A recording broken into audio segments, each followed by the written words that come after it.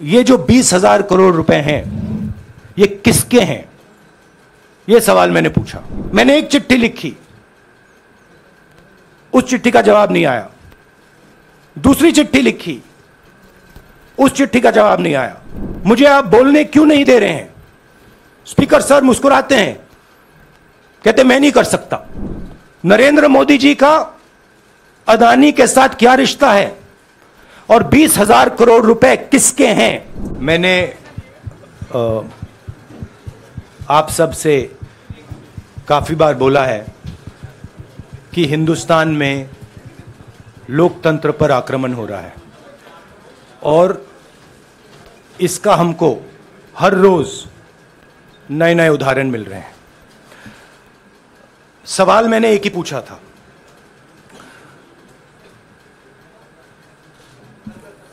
Foundation पे जाता हूँ। अदानी जी की शेल कंपनीज़ हैं।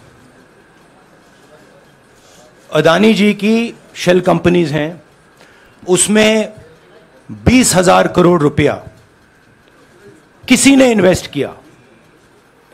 अदानी जी का पैसा नहीं है। अदानी जी का इंफ्रास्ट्रक्चर बिज़नेस है। पैसा किसी और का है। सवाल यह है, ये जो बीस हज़ार करोड़ रुपए हैं, ये किसके हैं? ये सवाल मैंने पूछा। मैंने पार्लियामेंट हाउस में प्रूफ देके, जो मीडिया रिपोर्ट से मैंने निकाला,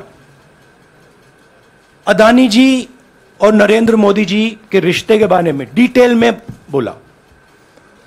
रिश्ता नया नहीं है। रिश्ता पुराना है। जब नरेंद्र मोदी जी गुजरात के सीएम बने थे, तब से रिश्ता है।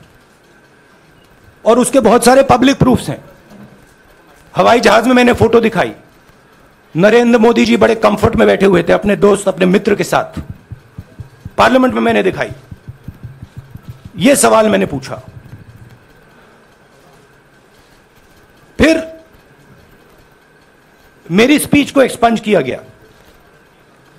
मैंने स्पीकर को डिटेल चिट्ठी लिखी, पॉइंट बाय पॉइंट, कि मैंने कहा कि एयरपोर्ट्स अदानी जी को रूल बदल के दिए गए हैं। ये लीजिए रूल की कॉपी जिसको बदला गया है। चिट्ठी लिखी, कोई फ़र्क नहीं पड़ा।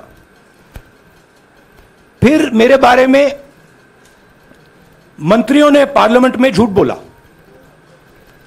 बोला कि मैंने विदेशी ताकतों से मदद मांगी। मैंने ऐसी कोई बात नहीं की है। मैंने कहा, स्पीकर से, मैंने जाके कहा, स्पीकर सर, पार्लियामेंट का नियम है कि अगर किसी मेंबर पर कोई कोई एक्यूजेशन लगाता है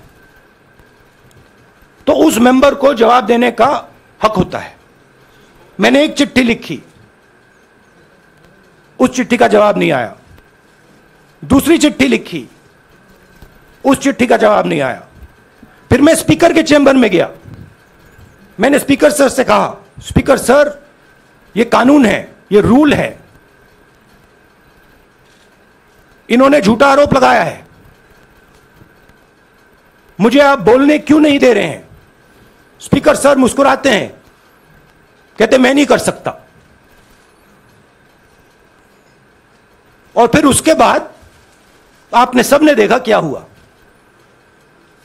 सवाल पूछना मैं बंद नहीं करूँगा। नरेंद्र मोदी जी का अदानी के साथ क्या रिश्ता है? और बीस हज़ार करोड़ रुपए किसके हैं? मैं पूछता जाऊँगा, मुझे कोई डर नहीं लगता इन लोगों से। और अगर ये सोचें कि मुझे डिस्कालीफाई करके, धमका के, जेल में डाल के मुझे बंद कर सकते नहीं। मेरी वो हिस्ट्री नहीं है। मैं हिंदुस्तान के लोकतंत्र के लिए लड़ रहा हूँ और मैं हिंदुस्तान के लोकतंत्र के लिए लड़ता रहूँगा।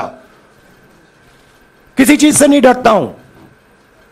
यह सच्चाई है।